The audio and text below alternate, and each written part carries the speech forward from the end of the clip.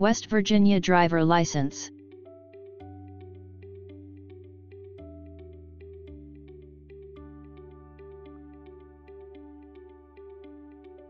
You must obtain a West Virginia driver's license if you want to drive a vehicle on West Virginia public highways.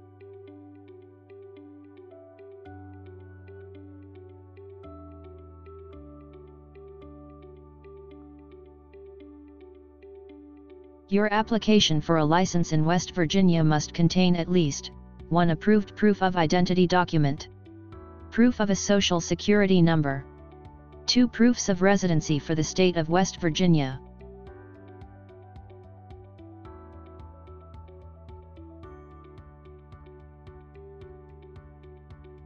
West Virginia DMV accepts state-issued documents like birth certificates, passports, permanent residence cards, as proof of identity documents.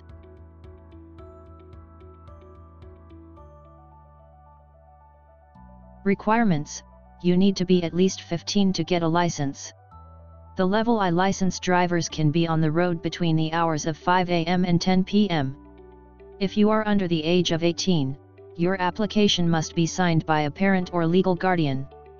If you have had your Level I license for at least 6 months and have passed a road skills exam, some of the restrictions are eliminated. Level 3 will be issued, when a driver has had a Level 2 license for at least a year with no violations.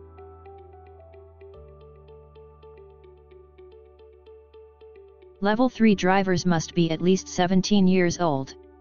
All the types of instruction permits and driving licenses can be obtained at one of the Division of Motor Vehicles regional offices, the Division of Motor Vehicles exam centers.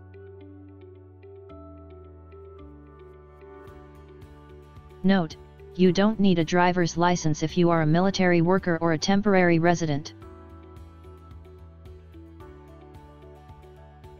All the applicants, who want to obtain a driver license in West Virginia must meet the following requirements, be at least 15 years old.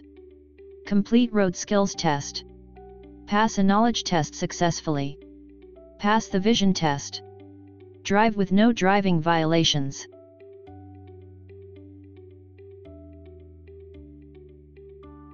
Foreign-born residents of West Virginia may also need several documents including, naturalization certificate, consular report of birth abroad certificate of citizenship, employment authorization, foreign passport, accompanied by a visa permanent resident card issued by the United States.